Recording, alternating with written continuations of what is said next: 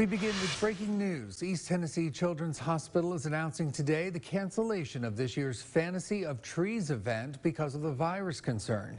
It is their largest fundraiser of the year, typically taking place the week of Thanksgiving. Last year, it raised the hospital more than $400,000.